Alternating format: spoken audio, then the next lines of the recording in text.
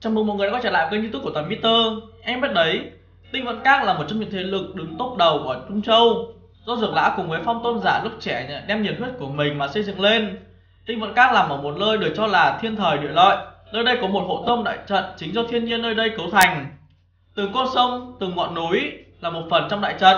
Từ đấu tôn trở xuống nếu không cẩn thận cũng sẽ không thể nào thấy được đường vào Tinh Vận Các Ok và hôm nay thì mình sẽ chia sẻ với anh em những gì mình biết về Tinh Vận Các nhé. Trước khi đi vào chủ đề ở clip ngày hôm nay thì các bạn hãy bỏ ra vài giây để like vào kênh của mình nhé.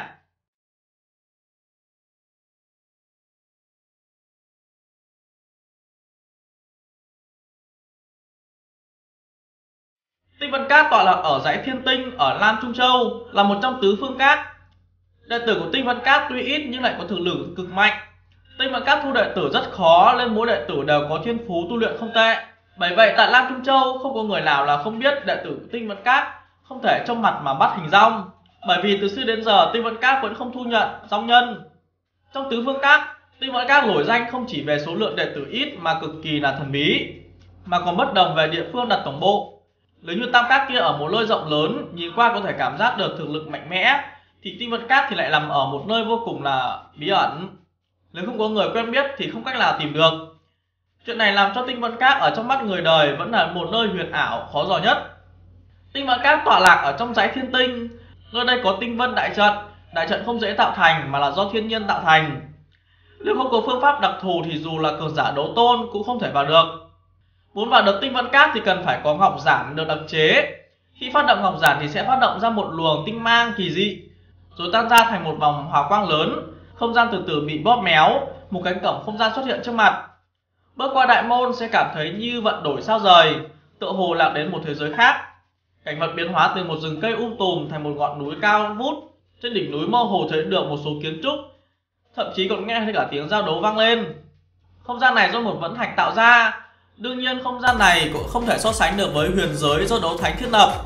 Diện tích nơi này chỉ cỡ một tòa thành mà thôi. Bất quá do thiên nhiên tạo ra nên rất bí mật, dù là đấu tôn cường giả có bay qua cũng không thể nhìn ra ảo diệu của nó. Năm đó thanh danh của Dược Trần cũng dung chuyển cả Trung Châu. Không ai là không biết, không ai là không dành Ông lập ra tinh vận cát chỉ là hứng thú nhất thời của Dược Lão mà thôi. Nhưng Phong Tôn Giả lại không hề biết mà đã đầu nhập rất nhiều tâm huyết của mình vào tinh vận cát.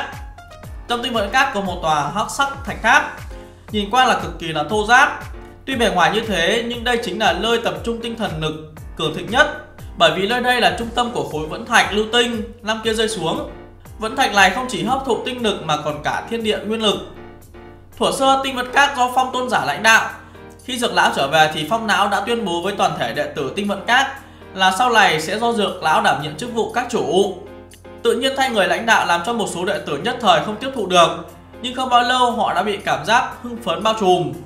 Đối với danh tiếng của dược lão, dù bọn họ là tiểu bối vô tri, sinh sau đẻ muộn, nhưng đều ít nhiều nghe được Thanh danh của dược lão năm đó ở Trung Châu vang như sấm nổ bên tai.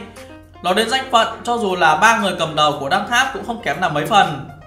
Trong tứ phương các thì về mặt cường giả đấu tôn chấn thủ thì tinh vận các là yếu nhất. Nhưng sau khi có thiên hỏa tôn giả, tiểu y tiên và hùng chiến gia nhập thì đã ngang bằng với tam các còn lại.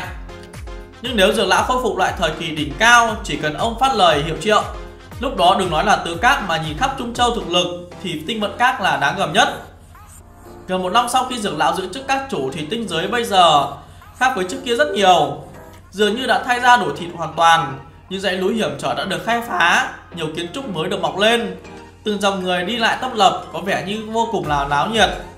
Và lại trong những dãy núi khổng lồ kia, phía trung tâm tinh giới, nhiều đạo khí tức cường hãn tràn ngập mà ra, bao phủ mỗi một góc tinh giới. Tính đến thời điểm này thì tổng các trưởng lão cũng như khách khanh trưởng lão cấp bậc đấu tôn đã có ngoài 30 vị thực lực của tinh vận cát lúc này đã ngang hàng với nhị tông. Ngoài ra, từ sau khi dược lão đột phá bán thánh thì số lượng đệ tử gia nhập tinh vận cát cũng dần dần đông hơn. Thêm vào đó là tiêu viêm giành được quán quân của cuộc thi luyện đan của đan tháp thì số lượng đệ tử gia nhập lại càng đông, đặc biệt là nữ đệ tử. Sau này hồn điện tuyên chiến và có hậu thuẫn sau lưng là hồn tộc đã buộc tinh vấn cát phải liên kết với các thế lực như hoa tông, đan tháp, phần viên cốc cùng với nhiều thế lực nhỏ khác nữa tạo thành thiên phủ liên minh và đặt tổng bộ tại tinh vực khác cùng nhau chống lại hồn điện hồn tộc ngoài bắt tộc viễn cổ ra thì thiên phủ liên minh là một thế lực lớn mạnh nhất là lá chắn cuối cùng của các võ giả khỏi sự tấn công của hồn tộc. Thậm chí sau này còn liên minh với tam đại viễn cổ gia tộc bao gồm cổ tộc, lôi tộc, viêm tộc chống lại hồn tộc. Sát kiếp đạn mà hồn thiên đế gây ra bằng việc tiêu viêm tấn chức đấu đế và đánh bại hồn thiên đế thì thiên phủ liên minh đã trở thành một thế lực đứng đầu trên cả đấu khí đại lục.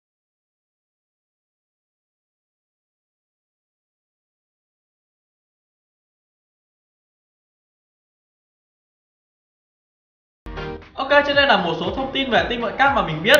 Các bạn thấy mình còn thiếu ở điểm gì hay cần mình nói thêm ở điểm nào? Thì để lại ở dưới phần bình luận giúp mình. Clip của mình đã kết thúc. Đừng quên đăng ký kênh để theo dõi các clip tiếp theo của mình.